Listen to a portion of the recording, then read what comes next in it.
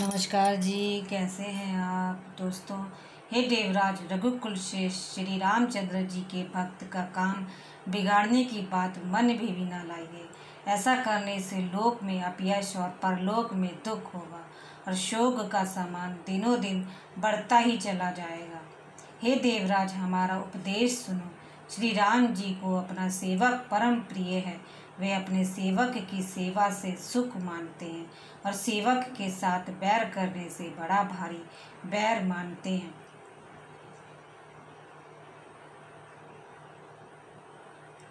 यद्यपि वे सम हैं, उनमें न राग है, न दोष है, रोष है, न वे किसी का पाप पुण्य और गुरु दोष ही ग्रहण करते हैं।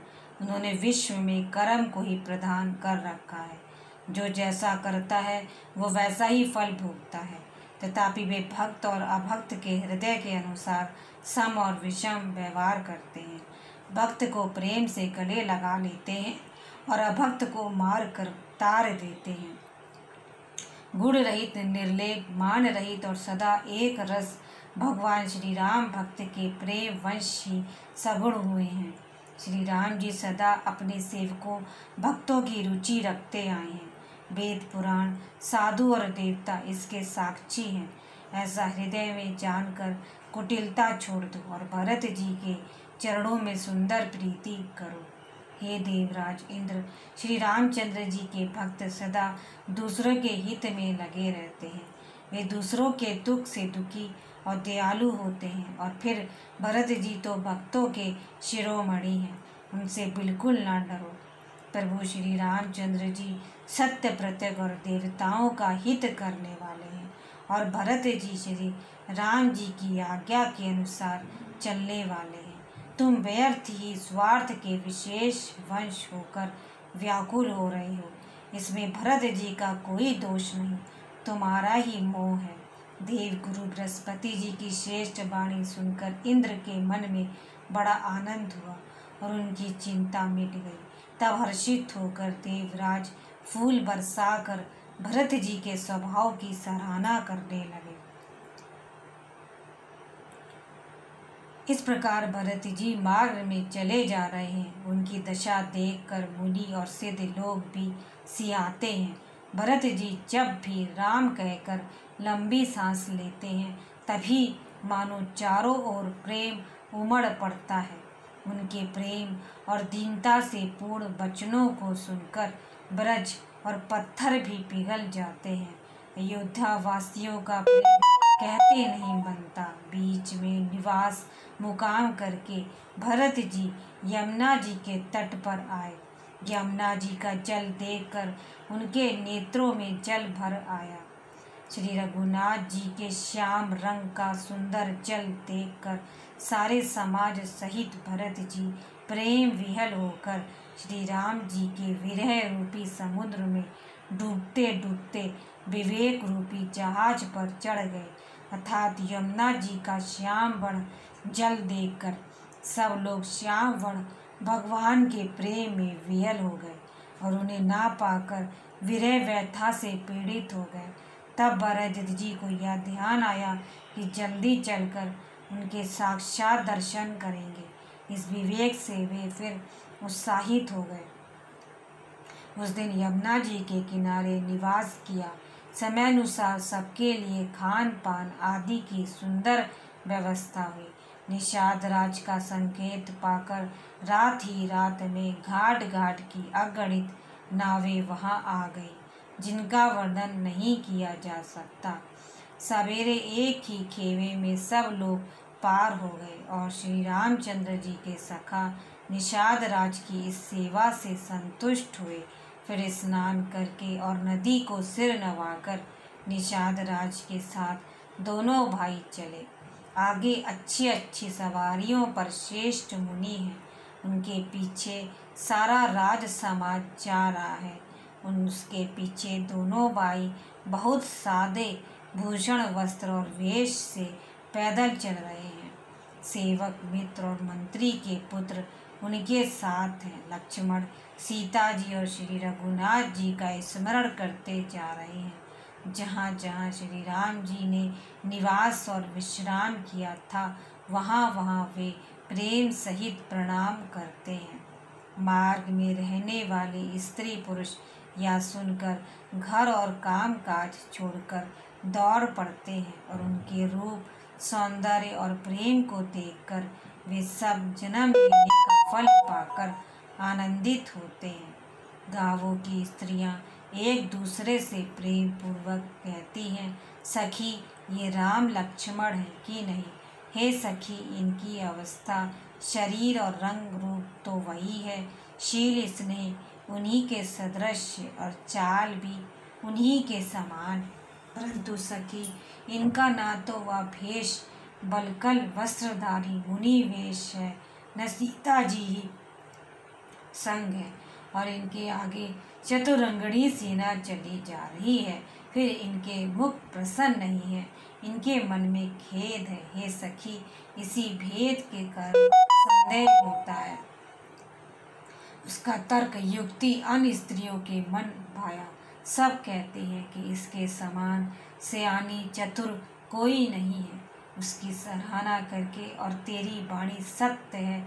इस प्रकार उसका सम्मान करके दूसरी स्त्री मीठे वचन बोली। श्री राम जी के राज तिलक का आनंद जिस प्रकार से भंग हुआ था, वह सब कथा प्रसंग प्रेम पूर्वक कहकर फिर वह भाग्यवती स्त्री श्री भरत जी के शील, स्नेह और स्वभाव की सराहना करने लगी। वह बोली, देखो, ये भरत जी पिता के दिए हुए राज को त्याग कर पैदल चलते और फलाहार करते हुए श्री राम जी को मनाने के लिए जा रहे हैं। इनके समान आज कौन है? भरत जी का भाई पना भक्ति और इनके आचरण कहने और सुनने से दुख और दोषों के हरने वाले हैं। हे सखी उनके संबंध में जो कुछ भी कहा जाए, वह थोड़ा है। श्री रामचंद्र जी के भाई, ऐसे क्यों ना हो? छोटे भाई शत्रुघ्न सहित भरत जी को देखकर हम सब भी आज धन, बड़ भागनी स्त्रियों की गिनती में आ गई इस प्रकार भरत जी के गुण सुनकर और उनकी दशा देखकर स्त्रियाँ पछताती हैं और कहती हैं या पुत्र के कई जैसी माता के योग्य नहीं है। कोई कहती है, इसमें रानी का भी दोष नहीं है। यह सब विधाता ने ही किया है। जो हमारे अनुकूल है, कहा तो हम लोक और वेद दोनों की विधि, मर्यादा से हीन, कुल और करतूत दोनों से मलिन तुच्छ स्त्रियाँ, जो बुरे देश, जंगली प्रांत और बुरे गाँव में बसती हैं, और स्त्रियों में भी नीच स्त्रियाँ हैं। और कहा, यह महान पुण्यों का परिणाम स्वरूप इनका दर्शन। ऐसा ही आनंद और आश्चर्य गाँव गाँव में हो रहा है। मानो मरुभूमि में कल्प वृक्ष उग गया हो। भरत जी का स्वरूप देखते ही रास्ते में रहने वाले लोगों के भाग्य खुल गए।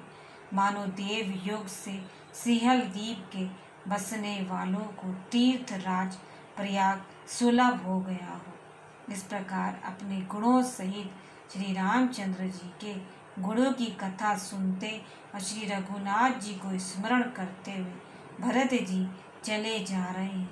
वे तीर्थ देखकर स्नान और मुनियों के आश्रम तथा देवताओं के मंदिर देखकर प्रणाम करते हैं और मनीमन या वरदान मांगते हैं कि श्री सीता राम जी के चरण कमलों में प्रेम हो।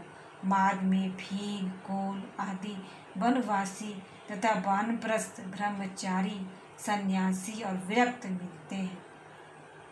उनमें से जिस तिस से प्रणाम करके पूछते हैं कि लक्ष्मण जी श्री राम जी और जानकी जी किस वन में हैं, वे प्रभु के सब समाचार कहते हैं और भरत जी को देखकर जन्म का फल पाते हैं। जो लोग कहते हैं कि हमने उनको कुशल पूर्वक देखा है, उनको ये श्री राम लक्ष्मण के समान ही प्यारे मानते हैं। इस प्रकार सबसे सुंदर वाणी से पूछते और श्री राम जी के वनवास की कहानी सुनते जाते हैं। उस दिन वहीं ठहर कर दूसरे दिन प्रातःकाल ही श्री रघुनाथ जी का स्मरण करके चले। साथ के सब लोगों को भी भरत जी के समान ही श्री राम जी के दर्शन की लालसा लगी हुई है। सबको मंगल सूचक शगुन हो रहे हैं। सुख देने वाले पुरुषों के दाहिने और स्त्रियों के बाएँ नेत्र और भुजाएँ फड़क रही हैं। समाज सहित भरत जी को उत्साह हो रहा है कि श्री रामचंद्र जी मिलेंगे और दुख का तहा मिट जाएगा। जिसके जी में जैसा है, वह वैसा ही मनोरथ करता है। सब इस नहीं रूपी मदरा से छके, प्रेम में मतवाले हुए चले जा रहे हैं। अंग शीतल है, रास्ते में पैर टकमगा रहे हैं और प्रेम वश वियल वचन बोल रहे हैं।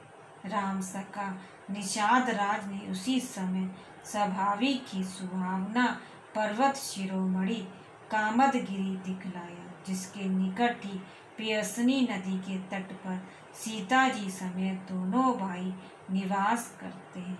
सब लोग उस पर्वत को देखकर जानकी जीवन श्री रामचंद्र जी की जय हो, ऐसा कहकर दंडवत प्रणाम करते हैं। राज समाज प्रेम में ऐसा मगन है मानो श्री रघुनाथ जी अयोध्या को लौट चले। भरत जी का उस समय जैसा प्रेम था, वैसा शेष जी भी नहीं कह सकते। कवि के लिए तो वह वैसा ही आगा में जैसा अहमता और ममता से मलिन मनुष्यों के लिए ब्रह्मनन सब लोग श्री रामचंद्र जी के प्रेम के मारे शीतल होने के कारण सूर्यास्त होने तक दिन भर में दो ही कोस चल पाए और जल स्थल का सुपास देखकर रात को वहीं बिना खाए पिए ही रह गए। रात बीतने पर श्री रघुनाथ जी के प्रेमी भरत जी ने आगे गमन किया।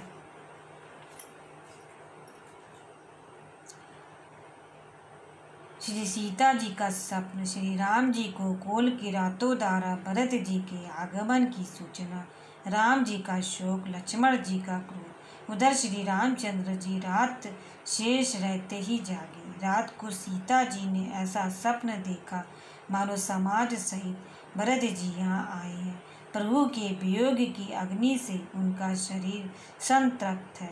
सभी लोग मन में उदास, दीन और दुखी हैं। सासुओं को दूसरी ही सूरत में देखा। सीता जी का स्वप्न सुनकर श्री रामचंद्र जी के नेत्रों में जल भर गया और सबको सोच से छुड़ा देने वाले प्रभु स्वयं लीला से सोच के वंश हो गए और बोले, लक्ष्मण, यह स्वप्न अच्छा नहीं है। कोई भीषण कुसमाचार बहुत ही बुरी खबर सुनावेगा, ऐसा कहकर उन्होंने भाई सहित स्नान किया और त्रिपुरारी महादेव जी का पूजन करके साधुओं का सम्मान किया। देवताओं का सम्मान, पूजन और मुनियों की वंदना करके श्री रामचंद्र जी बैठ गए। और उत्तर दिशा की ओर देखने लगे। आकाश में धूल छा रही है। बहुत से पक्षी और पशु व्याकुल होकर भागे हुए प्रभु के आश्रम को आ रहे हैं। तुलसीदास जी कहते हैं कि प्रभु श्री रामचंद्र जी यह देख कर उठे और सोचने लगे, क्या कारण है? वे चित्त में आश्रय युक्त हो गए। उसी समय कोल भीलों ने आकर सब समाचार कहे। तुलसीदास जी कहते हैं कि सुंदर मंगल वचन सुनते ही श्री रामचंद्र जी के मन में बड़ा आनंद हुआ। शरीर में पुलकावली छा गई और शरद ऋतु के कमल के समान नेत्र प्रेमाशरुओं से भर गए। सीतापति श्री रामचंद्र जी पुनः सोच के वंश हो गए कि भरत के आने का क्या कारण है। फिर एक ने आकर ऐसा कहा कि उनके साथ में बड़ी भारी चतुरंगणी सेना भी है। यह सुनकर श्री रामचंद्र जी को अत्यंत सोच हुआ। इधर तो पिता के वचन और उधर भाई भरत जी का संकोच। भरत जी के स्वभाव को मन में समझकर तो प्रभु श्री रामचंद्र जी चित्त को ठहराने के लिए कोई स्थान ही नहीं पाते। तब यह जानकर समाधान हो गया कि भरत साधु और सयाने हैं तथा मेरे कहने में आज्ञाकारी हैं। लक्ष्मण जी ने देखा कि प्रभु श्री राम जी के हृदय में चिंता है तो वे समय के अनुसार अपना नीति युक्त विचार कहने लगे। हे स्वामी, आपके बिना ही पूछे मैं कुछ कहता हूँ। सेवक समय पर ठिडाई करने से ठीड नहीं समझा जाता। अर्थात आप पूछें, तब मैं कहूँ, ऐसा अवसर नहीं है। इसीलिए यह मेरा कहना ठिडाई नहीं होगा। हे स्वामी, आप सर्वज्ञों में शिरोमणि हैं, सब जानते ही हैं। मैं सेवक तो अपनी समझ की बात कहता हूँ। हे नाता परम हृदय बिना ही करण, परम हित करने वाले, सरल हृदय तथा शील और स्नेह के भंडार हैं।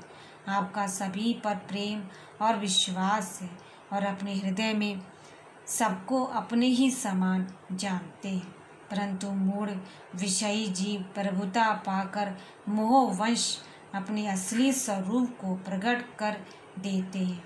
भरत नीति परायण साधु और चतुर। तथा प्रभु आपके चरणों में उनका प्रेम है। इस बात को सारा जगत जानता है।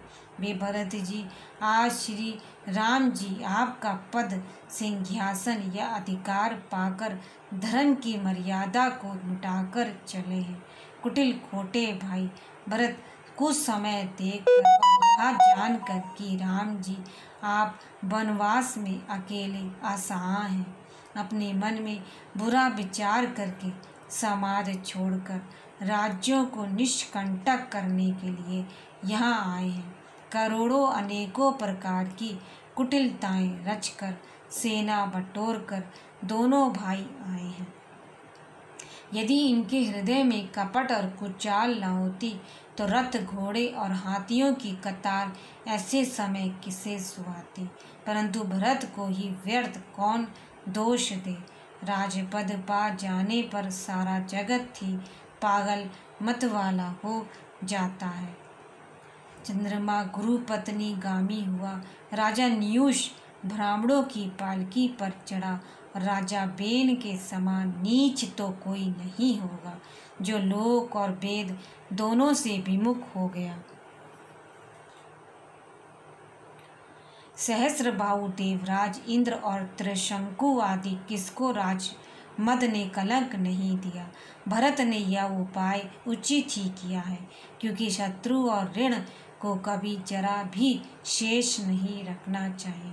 हाँ भरत ने एक बात अच्छी नहीं की, जो राम जी आपको असहा जानकर उनका निरादर किया।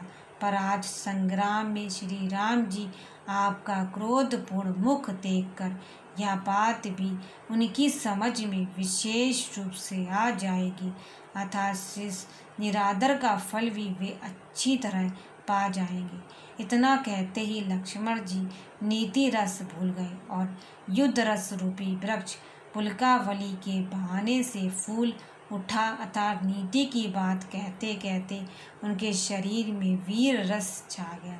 वे प्रभु श्री रामचंद्र जी के चरणों की वंदना करके चरण रज को सिर पर रखकर सच्चा और स्वाभाविक बल कहते हुए बोले, हे नाथ, मेरा कहना अनुचित ना मानिएगा। भरत ने हमें कम नहीं प्रचारा है। हमारे साथ कम छेड़छाड़ नहीं की है। आखिर कहाँ तक सहा जाए? और मन मारे रहा जाए। जब स्वामी हमारे साथ हैं और धनुष हमारे हाथ में है। क्षत्रिय जाति रघुकुल में जन्म और फिर मैं श्री राम जी आपका अनुगामी सेवक हूँ। यह जगत जानता है, फिर भला कैसे सहा जाए? धूल के समान नीच कौन है? परंतु वह भी लात मारने पर सिर ही चढ़ती है। यूँ कहकर लक्ष्मण जी ने उठकर हाथ जोड़कर आज्ञा मांगी, मानो वीर रस सोते से जाग उठाओ। सिर पर जटा बांधकर कमर में तरकस कस लिया और धनुष को सजाकर तथा बाण को हाथ में लेकर कहा, आज मैं श्री राम आपका सेवक होने का यश लूँ। और भरत को संग्राम में शिक्षा दूँ। श्री रामचंद्र जी, आपके निरादर का फल पाकर दोनों भाई भरत शत्रुघ्न रणशैया पर सोवे। अच्छा हुआ जो सारा समाज आकर एकत्र हो गया। आज मैं पिछला सब क्रोध प्रकट करूँगा। जैसे सिंह हाथियों के झुंड को कुचल डालता है और बाज जैसे लवे को लपेट में ले लेता है। वैसे ही भरत को सेना समेत और छोटे भाई सहित तिरस्कार करके मैदान में पछाड़ूँगा। यदि शंकर जी भी आकर उनकी सहायता करें तो भी मुझे राम जी की सौगंध है। मैं उन्हें युद्ध में अवश्य मार डालूँगा, छोड़ूँगा नहीं। लक्ष्मण जी को अत्यंत क्रोध से तमतमाया हुआ देख कर और उनकी प्रमाणिक सत्य सौगंध सुनकर सब लोग भयभीत हो जाते हैं और लोकपाल घबरा कर भागना चाहते हैं। सारा जगत भय में डूब गया। तब लक्ष्मण जी के अपार बाहुबल की प्रशंसा करती हुई आकाशवाणी हुई, हे तात, तुम्हारे प्रताप और प्रभाव को कौन कह सकता है और कौन जान सकता है? परंतु कोई भी काम हो, उसे अनुचित, उचित खूब समझ बूझ कर किया जाए तो सब कोई अच्छा कहते हैं। वेद और विद्वान कहते हैं कि जो बिना विचारे जल्दी में किसी काम को करके पीछे पछताते हैं वे बुद्धिमान नहीं हैं।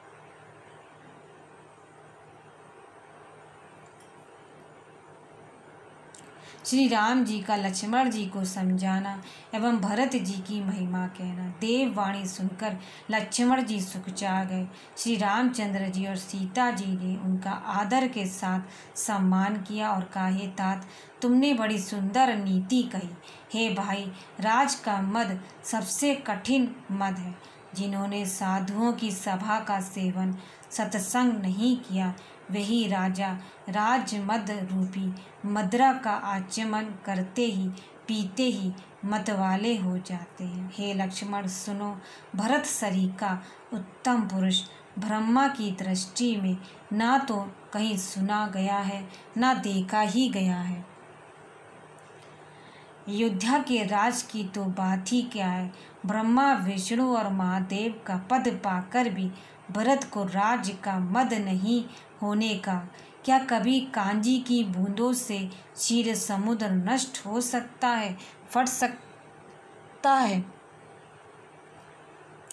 अंधकार चाहे तरुण मध्याय के सूर को निगल जाए, आकाश चाहे बादलों में समा कर मिल जाए गौ के खुर इतने जल में अगस्त जी डूब जाएँ और पृथ्वी चाहे अपनी स्वाभाविक क्षमा को छोड़ दे। मच्छर की फूक से चाहे समेरी उड़ जाए, परंतु हे भाई, भरत को राज मद कभी नहीं हो सकता। हे लक्ष्मण, मैं तुम्हारी शपथ और पिताजी की सौगंध खाकर कहता हूँ, भरत के समान पवित्र और उत्तम भाई सं